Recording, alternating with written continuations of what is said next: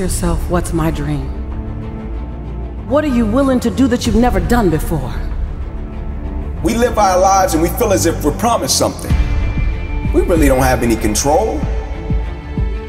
Hey man, life don't owe you a thing. What makes life worth living? What do we want out of life? We want a chance to do something. We want a chance to learn and grow and lead a psychologically rich life. You want to go somewhere you've never gone? You got to do something you've never done. Insanity is doing the same thing over and over and over and over again and expecting a different result. Regret hurts. Regret also instructs. And you can't have one without the other. I think the beautiful thing about adversity and opposition, when you live with it, it teaches you. So if you avoid the pain, you don't get any of the learning. Make fear your fuel. The things that seem to hurt you and make you feel like you can't put one step in front of the other, it's just something that's going to happen to make you stronger. It might take time. Grasp onto that hope with everything that you have and know that this too shall pass. The easiest thing in the world to do is to be negative. Easiest thing in the world to do is complain. Easiest thing in the world to do is to quit. That's easy. It's always a lesson, it's always a blessing. It's up to us to extract it. Attitude is a small thing that we often underestimate, but we really can control that. You are the author of your autobiography. You write the story of your life. No one can write your financial story. No one can write your spiritual story. No one can write your emotional story but you. What are you willing to do that you've never done before? It's going to cost you more time than you thought you'd have. It's going to cost you some friends who couldn't make the entire journey with you. It's going to cost you something. Because sometimes good people go through some crazy stuff people are losing hope and they feel like like their runway is too short. But I realized that I had to put one step in front of the other and I had to take it one day at a time.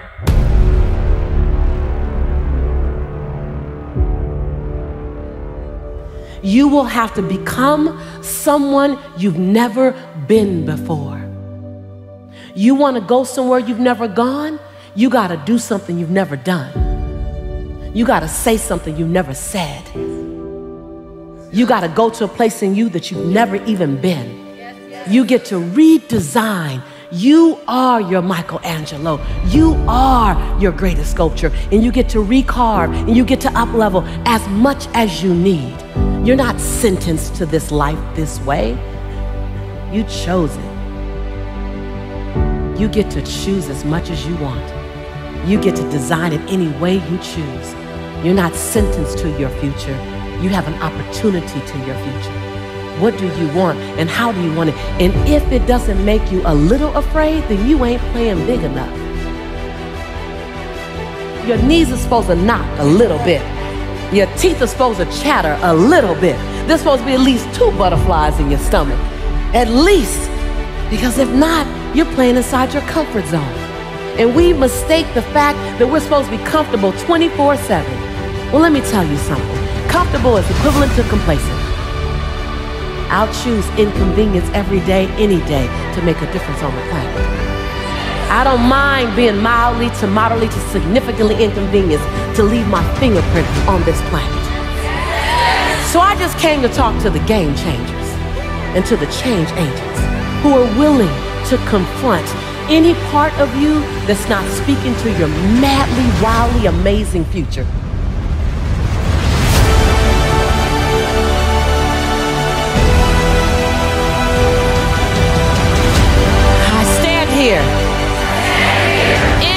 Greatness.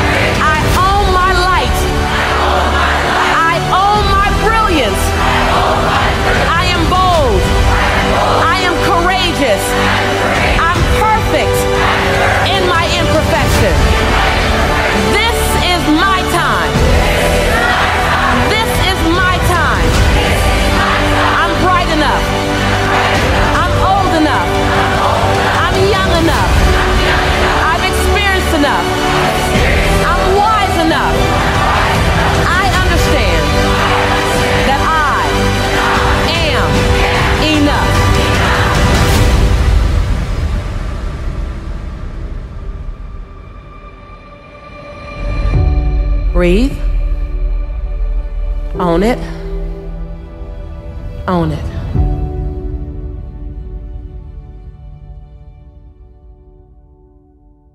Ask yourself, what's my dream? What's my dream? I came to challenge you to play in the biggest field you've ever played in. I came for you to challenge the fear that might be inside of you and to redesign and reprogram it. You look at it long enough, you be with it intimately enough, and it has to dissipate. You are the designer of your destiny. You are the author of your autobiography. You write the story of your life. No one can write your financial story. No one can write your spiritual story. No one can write your emotional story but you. The pen has always been in your hand. The pen has always been in your hand. I say write a story that's going to be damn good to read. And ask yourself, what's my dream? What are you willing to do that you've never done before? What are you willing to say that you've never said before? Are you willing? Are you willing to do that thing you've never done before? Are you willing to stand at the edge of your own greatness? Are you willing to look at your fears? Are you willing to recognize that you can be afraid? Are you willing to look at the fact that there is always healing to come? There's always growth to come. There's no arrival. Are you willing? And then in the space of that, are you still willing to lean to the edge? Feel the breeze of possibility, not knowing if you will fly or fall. Are you willing? Are you willing to not quite know what's there, but that something is there is greater than you? Are you willing to say, My life has to make a huge heard me say this before that there's a birthday and a transition day, and in between that is all the opportunity in the world. That's that dash, that dash that says, Are you willing to disrupt my life? You're not here. You're not put here to leave my life calm. You're here to be a disruption for my life. You're here to cause me to want to be someone I've never been, do something I've never done because you crossed my path. Are you willing to show me that greatness? I'll get to it tomorrow. I'm like, who promised you that? Because light changes so quick. We live our lives and we feel as if we're promised something. We really don't have any control. We can control what we possess emotions, attitude, thought process, perspective, how we speak, how we respond. But just life in general, we have no control of that. It's so many parts of the injury that shaped my perspective. It was almost surreal. Your career's probably over. Uh, your arm and hand will probably never be the same again. Hey man, life don't owe you a thing. Everybody done been through something. Everybody's gonna encounter something. I think the beautiful thing about adversity and opposition, when you live with it, it teaches you. If you're open to it easiest thing in the world to do is to be negative. Easiest thing in the world to do is complain. Easiest thing in the world to do is to quit. That's easy. It's moments like that that you remember that shape and mold you as a person as you go throughout life. And I think we all have them, right? We all have these moments, right? Whether it be humility moments, whether it be, you know, moments that keep us grounded. It's just we choose sometimes to forget them. And for all of us, we're going to encounter those defining moments in our lives, right, to where it's going to hurt. It's always a lesson, it's always a blessing. It's up to us to extract it. Attitude drives performance. So that's the key to life. I think sometimes when things don't go our way, the quote says it. You judge the true character and caliber of a person not by where they stand in times of comfort and convenience. You judge the true character and caliber of a person by where they stand in times of challenge and controversy. But when things go wrong, things don't go the way you want them to, they don't unfold the way you want them to, who are you? Because that's the true test of who you are as a person. That's your true character. Everybody is going to smile when the sun's shining, man. But the song says it. Can you stand the rain, baby?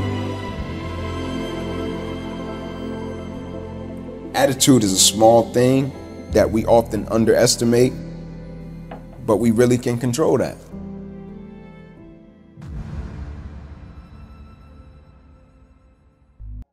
Any long term plan immediately hits the ugly truth of reality and then becomes a joke. I think very carefully about what's next.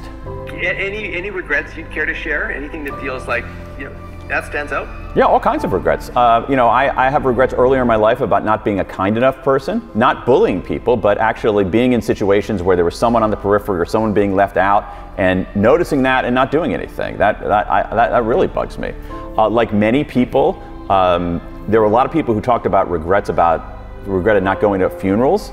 And there's one funeral that I'm thinking of, uh, a guy who I worked with. I wasn't very, I wasn't like a close friend, but I, I didn't go to his funeral because I was like really busy that day, and I still regret that. Um, so that's a, that's a, that's a smaller one. Um, I'm a, you know, you, you, for the folks who are interested in careers, which is a lot of your audience, I know, one of my favorite techniques is what Tina Seelig at Stanford University calls a failure resume. Like I've made a failure resume, a list of all of my setbacks and mistakes and blunders, and you list all those. Hell yeah. You list you, you list all those, and then you um, think about like what did you learn from that, and then how can you apply it going forward. And so, so so so again, you know, for me, you know, you can't spend a few years on a topic without it changing you, particularly a topic with such emotional freight as regret. But the idea that you should never look backward on your life and say, oh, I wish I had done things differently, is actually a terrible blueprint for living. Um, and, and I think one of the problems is, you know, especially in North America, is that we're a little over indexed on positivity. You know, positive emotions are incredibly important, but, and they should outnumber our negative emotions, but we need some negative emotions because they instruct us. And our most prominent negative emotion is regret. And because regret teaches us, it instructs us, it clarifies us, uh, it clarifies what's what we should be doing and how we should be doing it. And so, um, and so we need to understand how to deal with our negative emotions. We can't ignore them like no regrets. We can't wallow in them like, oh my God, it's so terrible, I'm such an awful person. So, among the misunderstandings are we think that when we experience regret, it's somehow an aberration, when in fact, Everybody experiences regret. Regret makes us human. Regret is part of the human condition. What's more, we think that regret makes us weaker when in fact the research shows that done right, regret can make us stronger, that we can enlist our regrets as a, an engine for forward progress. Come into my junior year and I'm about to get exactly what I want. About to get this thing called NFL. 10 games away from this dream, this thing that I've been working for my whole life. My whole life is dedicated to this one game. I got the paperwork that states I'm about to be an NFL draft pick. NFL on top of the paper. Inky Johnson projected top 30 automatic multimillionaire. Now all you have to do, the hard part's over. Just play the next 10 football games, Ink. You, you, you made it. And I go out in a silly game against Air Force, two minutes left, and I go to make a tackle that I can make with my eyes closed. And when I hit him, every breath in my body left. My body goes completely limp. I fall to the ground. I blacked out. My eyes open. I'm still not, you know, too concerned because it's football. When my eyes open, guys run over. Ink, let's rock, man. Let's go. Let's finish him off. And I'm like, I, I can't. I I can't move. Shock, neck to my toes. I can't feel anything. Shock leaves. It stays in my right arm and hand. I'm like, maybe I got a bad stinger. They put me on the spine board, wheeling me off the field. Doctor says to me as he's walking beside me, I don't know how you're still alive, son. You don't have any pulse. We get to the ambulance. My father's standing there. I'm like, Pops, I laid it on him, right? I put it on him, right? My dad's like, Yeah, but I think you got the worst part of this one, E. Doctor say, We're going to take you over, run a couple tests, bring you back into the room. Everything will be cool. They run the test, they bring me back into the room. Mom comes in, kisses, prays. Son, you'll be fine. Doctors rush in.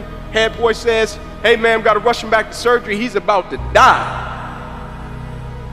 If we don't perform this surgery tonight, I guarantee you, you won't be here in the morning.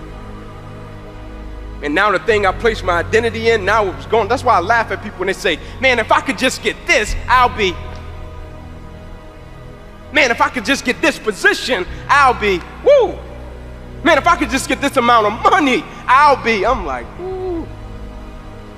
But what happens even if you get it or you don't get it?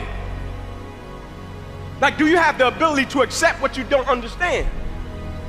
Can you handle when things get off course? I'm sitting there and I'm thinking, like, man, I'm eight games away, and God is redirecting me, and I'm like, God, just let me get to the NFL, then redirect me. Like, let me get the contract, then redirect me so I can help my family.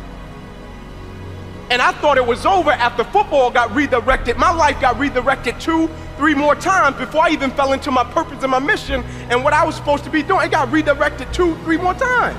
I'm thinking I'm gonna be a coach. Just like every guy when he finishes the game, and I'll just coach. But people keep coming to me telling me, speak, Inky, you need to speak. And I'm like, I'm not speaking. Everybody got a story. That's how I view life. Everybody done been through something, right? Everybody's gonna encounter something. And so I never looked at speaking, sharing. I never was the guy like, oh man, this happened to me. Let me go share with the world. I was like, nah, ain't figure it out. Like pick up the pieces, move forward, and figure it out. And so when people would say this, I would be like, nah, I'm not trying to speak. Like, I don't want to speak.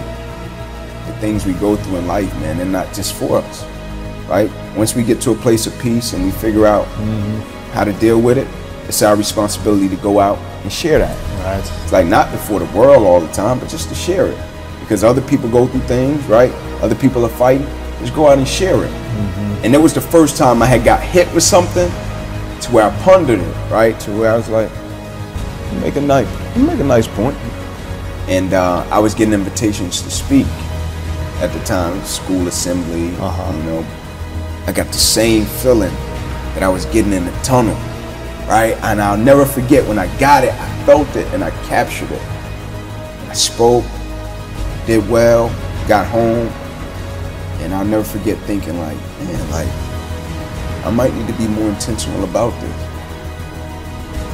When we go through things in life, the first thing we try to do is understand it.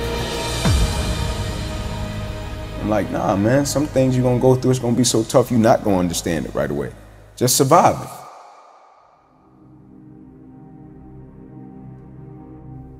And I always tell a story about when my faith was fortified and my life went to another level was the only thing I had at that moment was a prayer and a book. I got up and I looked at my wife. I said, I'm gonna take this book to Oprah.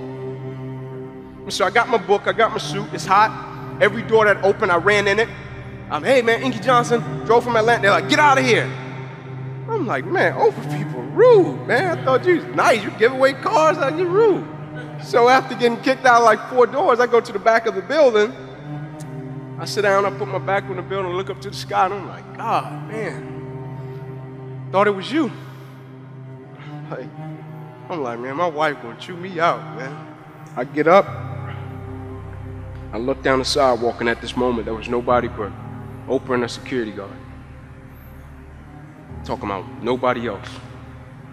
She's walking toward me, I'm walking toward her. I get a couple of feet away, I stop. She grabbed my suit, said, Hey, that's a nice suit. I said, Thank you. I said, I drove from Atlanta, I wanted to get you my book. She said, Oh, cool, great. I said, Would you mind taking a picture? We take a picture, and I'm going to walk off. She said, I gotta get in and do my show. I said, All right, thank you. And I'm going to walk off, and her security says to me, said, uh, Hey, young man, come here. I stopped, I went back to him. He said, I just want to tell you something. He said, What just happened never happens. He said, Now, I don't know what's going to come out of it. I don't know book club, show. I don't know about any of that. He said, But I just want to make sure I tell you what just happened never happens. Like, God, are we really moving to the point where I can get up in Atlanta, Georgia, look at my wife, don't know nobody in Chicago, don't know nobody on Oprah staff, and look at my wife and say, I'm going to meet Oprah. I got a certain level of faith that I'm going to meet Oprah. Like, at a certain point, like, what is it really about? Like, and I know the initial reaction when we go through things is to say, man, why did this have to happen to me? And it's an honest reaction. Because sometimes good people go through some crazy stuff. At a certain point, you're going to hit something that's going to test that level of faith. And my definition of commitment was always staying true to what I said I would do long after the mood that I've set it in has left. Like, am I gonna stay true to my beliefs and my core and my essence of who I am as an individual, even if I get a paralyzed right arm and hand? Am I gonna stay true to it, even if my little career that I thought I was gonna have disappears? Am I gonna stay true to it, even if one day I'm in a football game, the thing I love to do, the thing I have been practicing my whole life, and in one moment it gets wiped out? Am I gonna stay true to it? Somebody comes up to me almost every week and say, like, be honest, like you said you wouldn't change what happened to you. Why? I got a paralyzed right arm and hand. But who I am as a man, that never got paralyzed. Can I condition my mindset and my perspective that when uncertainty happens, opposition happens, adversity happens, I can put my mind, my perspective in a space and place to extract some good. Stop trying to understand it and focus on surviving it.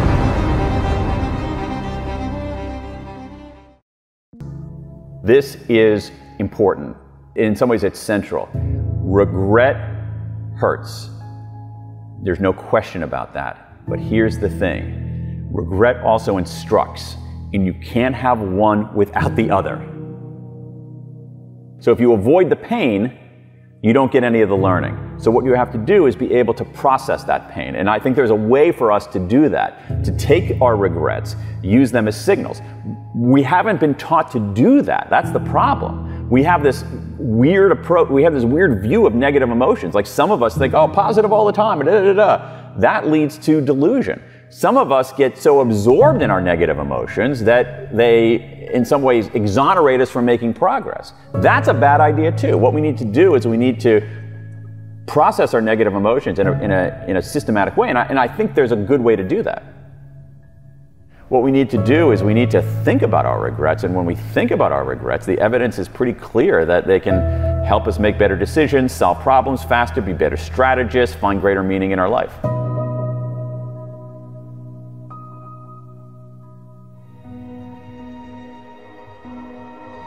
what I had is I had this giant database of, of, of regrets, and I would look on my computer screen and see them listed there. And you know what? It wasn't that much of a downer because I felt like people were trying to make sense of it.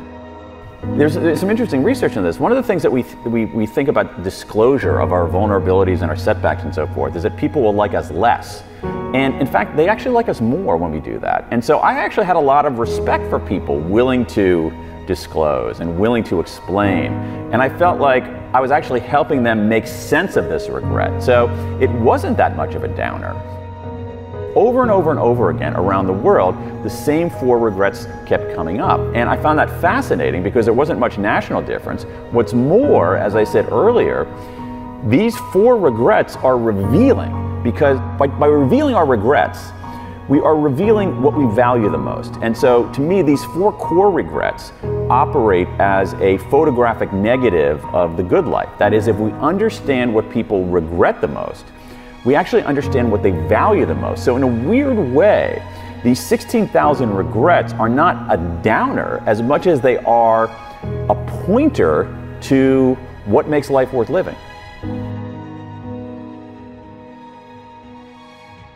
Many of these decisions are less monumental than they, there's kind of a focusing illusion that when we think when we're making a decision, we think that that's the most important decision there is.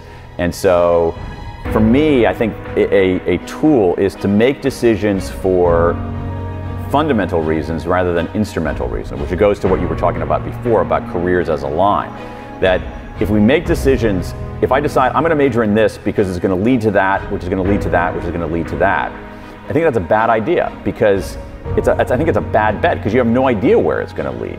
If you major in something because you like it, because it's interesting, because you find it compelling, major in that because you're going to learn a lot, you're going to do really well, and you have no idea where it's going to lead. And so, you know, the, the, the, reason that I like making decisions for fundamental reasons rather than instrumental reasons is not because I have this noble view of the world, is that instrumental reasons don't work because the world is so complicated. So you're better off just making decisions for fundamental reasons, doing things you care about that are meaningful and that contribute, and, and being alert to opportunity along the way, recognizing that, as you said earlier, that the path is not a path, it's the opposite of a line. It's a, it's a messy, three dimensional um, squiggle. To you, to the person who's feeling like there's no hope, that you can't see a way out of your current situation or circumstance I want to say first that I'm sorry that you're going through whatever trial it is that you're going through right now. It's not fair and you don't deserve it. But there is hope on the other side of this trial. I want you to think about those feelings, those times where you felt happiness, where you felt joy, where you experienced love in a way that you never thought you'd be able to experience. And I want you to hold on to those moments and think about your future and think about having those moments of love and joy and laughter and peace again. And I want you to know that right now, it's just a trial, it's just a test. The things that seem to hurt you and make you feel like you can't put one step in front of the other, it's just something that's going to happen to make you stronger.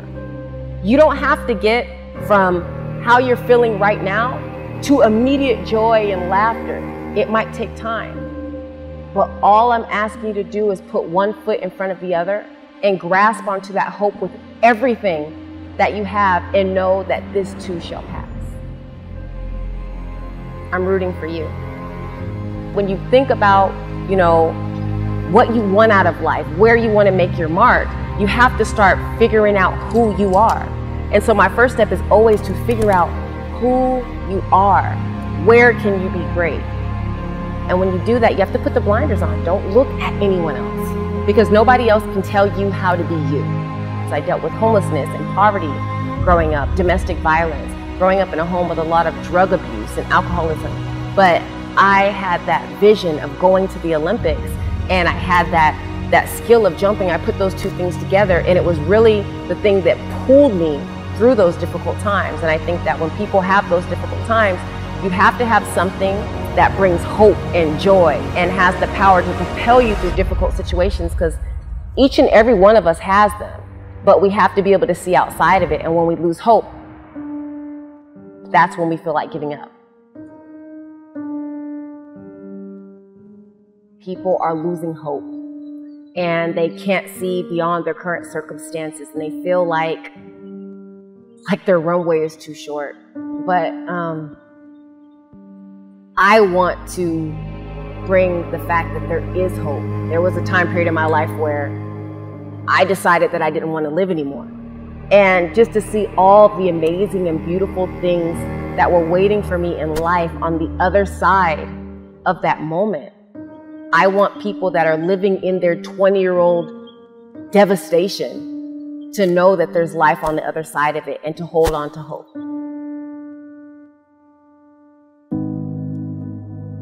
The final three Olympics, every time you competed, you had just had a baby. What was that like? I mean, it blows my mind to even think about it. I, I love what that journey in life looks like and what it takes, but I can only imagine what it takes as an athlete. Can you walk us into what it was like for your body preparing after just giving giving birth? So your body completely changed, changes after you have kids. Um, I remember after having my first child, my ankles were so weak and I needed to be able to put a tremendous amount of torque and force into the ground to be able to high jump. And I remember having to take it one step at a time. And I think that whenever we're at a certain level and for whatever reason we get knocked down, we just want to get back to that level so quickly but we forget the process of being patient with ourselves and being very meticulous and strategic towards getting back towards where we want to go that we could injure ourselves or we put ourselves through a lot of mental anguish. And so for me, it was no different. I wanted to put myself through that mental anguish. And I had just jumped one of the best jumps in American history. And yet now I'm struggling to jump a height that I cleared my freshman year of high school. But I realized that I had to put one step in front of the other and I had to take it one day at a time. And by being consistent, I eventually was able to jump higher and get to the point where I qualified for the Olympic trials and then I qualified for the Olympic Games. But I learned throughout that process. And a lot of people say hindsight is 2020 vision. And they say it in a negative way, like, oh, hindsight is 2020 vision. But it's the reality that you could take that 2020 vision, apply it to the next time, and do it again without falling into the bear traps. And that's what I did from one Olympics to the next. I figured out a process that worked. Another saying that I love is that insanity is doing the same thing over and over and over and over again and expecting a different result. But they also say that quote in a negative connotation. The reality is there's a positive aspect to it. If you're doing things right, you get amazing results. You put in that recipe time and time again, it'd be insanity to expect to get anything less than success. And so once I figured out what works, I keep doing it. My weight sheet is exactly the same as it was when I was in college. My my training, I kept everything the same because I know it works. That is cool. Flipping that insanity quote and using that, you know, as almost a formula to success. That is cool. If I if I fast forward, so you've been to four Olympics, you're preparing for 2020. 2019 you get a devastating diagnosis and and it changes your world. Can you let us know about what that diagnosis was? Yes, so in 2018, I found an itsy bitsy tiny rice sized lump from doing a self breast exam. And the reason why I even decided to, to do self breast exams, I was only 34, 34 at the time um, was because a, another athlete shared her story and her journey with breast cancer. So I really wanted to be proactive. Unfortunately, when I went to the doctor, I was dismissed and I was told not to come back for six years and that what I was experiencing was a swollen lymph node. Well, the doctor was completely wrong. Um, it turned out to be breast cancer, a very aggressive, fast growing form of breast cancer that predominantly impacts African American women. And when I started learning the statistics about breast cancer and how impactful it is that it could be as much as one in eight here within the states that will be impacted with breast cancer in their lifetime. I was shocked and I was devastated. And, you know, being a mother that I thought that I had my whole life in front of me, now facing a diagnosis where I could die soon, um, my heart broke. But I realized that that tenacity that was built over years of watching the Olympics, enduring poverty, enduring domestic violence, figuring out ways to come back from pregnancy to be at the top of the world, to break American records, I could take that same mindset and mental state and apply it to this breast cancer journey. And I started making a list of all of the things that I did to become successful as an athlete. But before that, I said no. I decided that I was going to be defiant and that I wanted to live and that my life was worth fighting for. And so, you know, I, I did the same things. You, when you're an athlete, you look for a great coach, you look for a great nutritional plan, you look for, you know, a great training program. I did the same thing. I looked for an amazing oncologist, amazing um, surgeon. I looked for an amazing medical team so that I could make sure that I could be here and watch my kids grow up. Chaunte, uh, my mom went through breast cancer, and I remember the fear of that as a child. Um, I remember the strength in her, uh, the resilience, the tenacity. Um, and I remember the family conversation because it does start to look at you, you, you, zoom out and you recognize there's a lot of life ahead of us. And, and how do we rally as a family?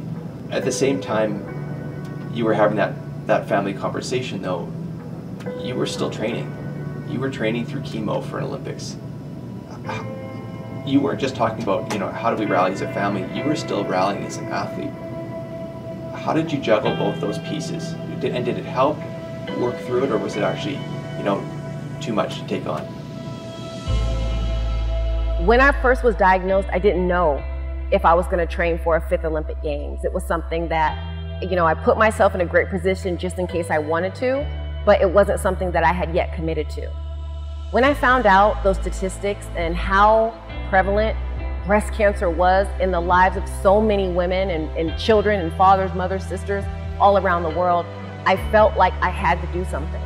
I didn't have a lot that I perceived as resources to be able to make it uh, impactful change, but I did know I knew how to train. I knew how to compete. I knew how to make Olympic Games. And I figured if that's my lot, if that's what I had in my hands to be able to contribute to the world, I realized that the Olympic Games is a huge media conglomerate. People are interested in the stories and the storylines, and that I could take that story and raise awareness about breast cancer and help change my platform into a platform that disseminates information, supports people, and most importantly, provides hope to the hopeless. And I felt like it was my responsibility. So training for my fifth Olympics was solidified by the fact that I was diagnosed with breast cancer. And, you know, once I found out that my treatment would be chemotherapy and it would be a double mastectomy, I didn't care. That wasn't going to stop me because I was fueled by love and compassion for other people in a world where we're told to take selfies and care so much about ourselves. I felt strength from taking on the burdens of other people and acting out of compassion and love for them, it felt like a labor of love. And it was my honor to do it, and, and I would continue to do it, and I would do it a thousand times over if I could.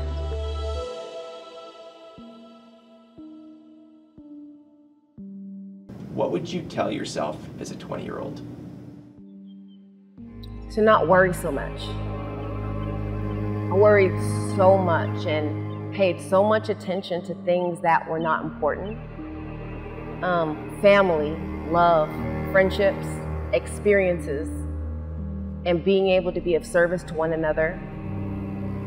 Um, I would continue to tell myself to have faith, never, never, not for one second to give up faith, because everything works out exactly the way that it's supposed to. I think that those are the bits of information that would have kept me from a lot of days of crying and fighting with myself and, and being upset because in the end it always worked out. You know what? It's funny. Um, it was an older lady who told me not to make mountains out of molehills. And I think sometimes we have this situation right in front of us and it seems so big and we feel it's just a huge stumbling block um, of us being who we want to be or being a contributor to society as a whole. And I think that if we, we stop making small, minute issues into monumentous mountains in our life, we will live a more fulfilled, more happy life. Excuses are the patches that we sew on the garment of failure talked a lot about kind of hidden strengths, things that people can't see, work ethic, uh, discipline. Where do you think that switch went for you to say, I'm not gonna, I'm not gonna perpetuate the cycle. I'm gonna break the cycle. What was that skill within you to see that, recognize it, and actually be able to do it? It's funny. I think when I was young, I had a strong sense of mind, body, and spirit, and I realized that nobody could influence my thoughts in my own mind. And I have this thing that says, you grow the seeds and kill the weeds.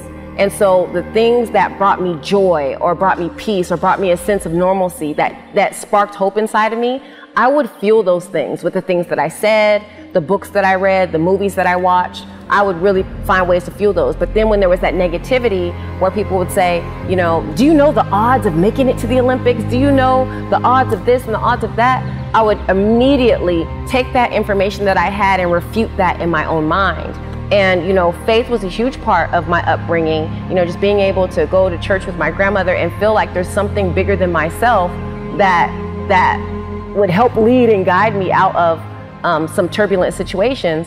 I, I realized that all three of those areas of my life had to be good in order for me to be good. And I think that, you know, with everything that we've went through with the COVID-19 pandemic, it's it's shined a huge light on the people that are living in households of domestic violence and abuse. Um, it's made it inherently clear that there is a huge gap in the wealth distribution amongst people and that some people are falling behind. And I think that it takes um, education and learning how to strengthen yourself, mind, body, and spirit to be able to weather these turbulent times. And so I think that's why I feel like it's important for me to share my story because some people don't automatically have that hope or have that know how. And being an athlete, coming through my own turbulent situations, I feel like I have like 20, 30 years of experience in this realm that could really help people. And I feel like it's my duty to do so.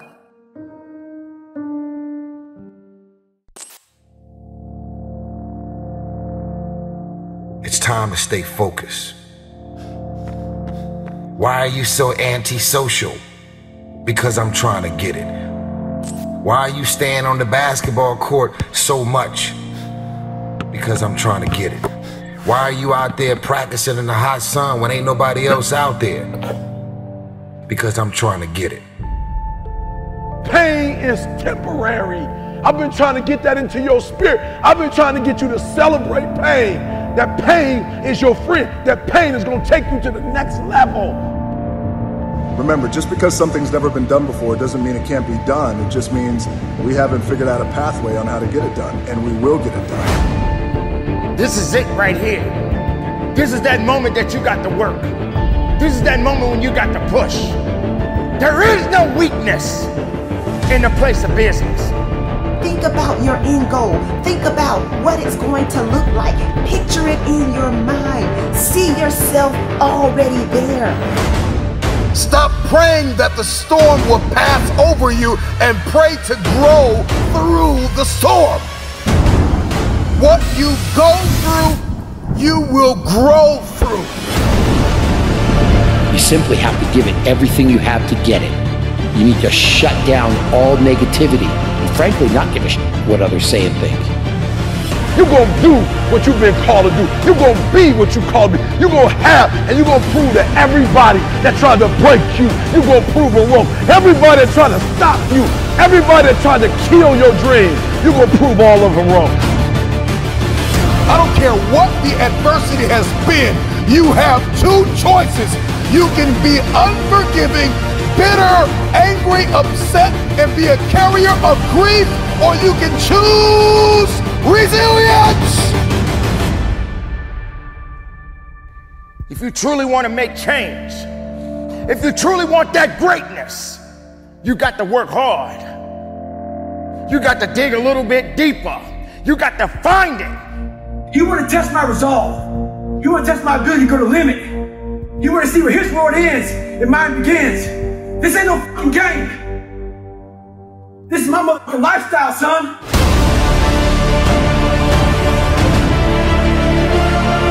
Shut up!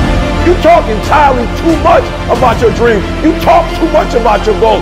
Say it once, say it twice, no more than three times, and get to work.